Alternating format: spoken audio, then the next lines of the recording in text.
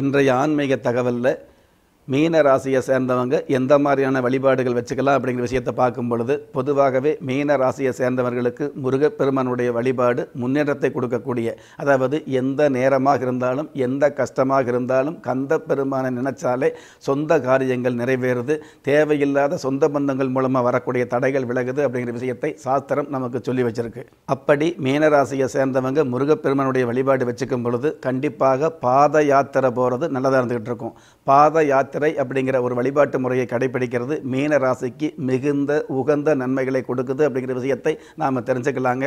பாத யாத்திரை அப்படிங்கிறது பல ராசிகளில் உள்ளவங்க போனால் கூட மீன ராசியை சேர்ந்தவங்க பாத யாத்திரை போகும் பொழுது அதற்கு உண்டான பலன் உடனே கிடைக்கக்கூடிய கைமேல் பலன் கிடைக்கக்கூடிய யாமிருக்க பயமேன் அப்படிங்கிற அந்த வார்த்தை உங்களுடைய வாழ்க்கையில் பலிதமாகக்கூடிய ஒரு வாய்ப்புகளை சந்திக்க முடியும். மீன ராசியை சேர்ந்தவங்க பாத யாத்திரை போகும் பொழுது அந்த பாத யாத்திரைக்கு உண்டான அந்த பாதங்களை மற்ற ராசிக்காரர்கள் பார்த்தாலே போதுங்க.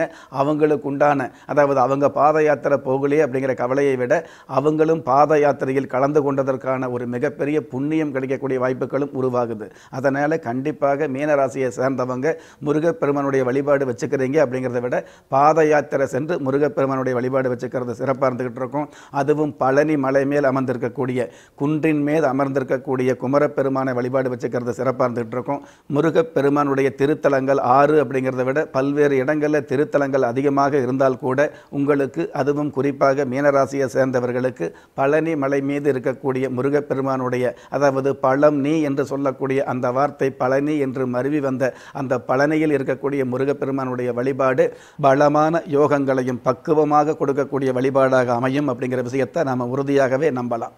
நெஞ்சுக்கிணைய நேயர்களே ஒரு மனிதனை யாரு கைவிட்டாலும் ஆன்மீகம் கைவிடாது என்ற என்னுடைய ஆழமான ஆன்மீகத்தை பதிவு செய்து அகில உலகத்தில் உள்ள அத்துண தெய்வங்களின் அனுகிரகமும் ஈரேல் உலகத்தில் உள்ள எல்லா சக்திகளின் ஒட்டுமொத்த ஆசீர்வாதங்களும் உலக மக்கள் அனைவருக்குமே கிடைக்க வேண்டிய பிரார்த்தனையோடும் வாழ்த்துக்களோடும் உங்கள் ராஜயோகம் டாக்டர் கே. ராம்.